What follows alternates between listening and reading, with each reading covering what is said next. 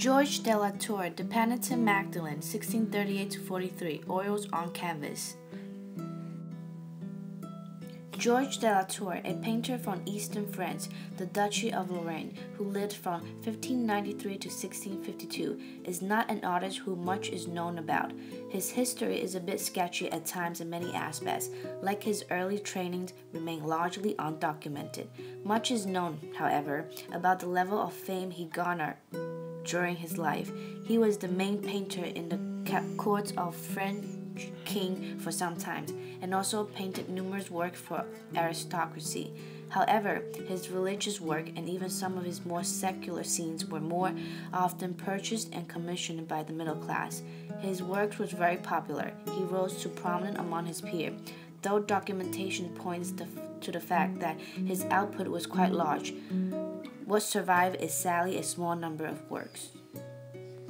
Della Torre's style was very much in the Baroque styles of Italian Michelangelo Merisi, known more fam- famously as Caravaggio. Though whether Della Torre studied in Italy was and was thus exposed to Car- Caravaggio's work, or if promulgations of Caragis's of Utrecht school in northern countries exposed the French artists, the influence of Caravaggio's is evident in the dramatic lighting, strong contrast of color, and the lack of idealizations of female figures.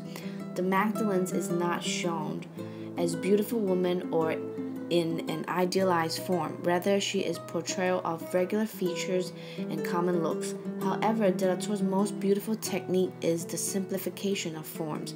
There are no grand gestures or intricate details.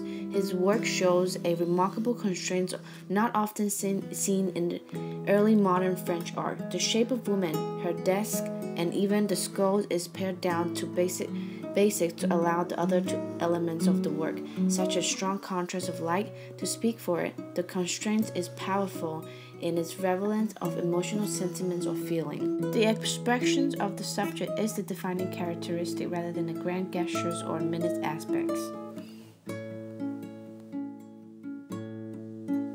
The scene is an emphasis of contemplations, whether the Magdalene is shown repenting her past sins or if she is simply pondering on the aspect of Christian religion as they may pertain to her. The painting is simply a portrait of a woman wandering. Her deep concentrations and gaze toward the candle gave, give her an air of seduced and controlled contemplations, a thinker deep in thought. However, her attention is absolutely moved inward. Her gaze on the candle is unseeing, as, as if she looks right past it to the mirror behind her. If she's contemplating her reflections, the viewer is left to wonder at what she is thinking of and if is able to take away from the work whatever they please. If the painting's audience is religious, then it would seem that they are viewing the Magdalene's repenting her sins, moving from her lascivious past to a pure future.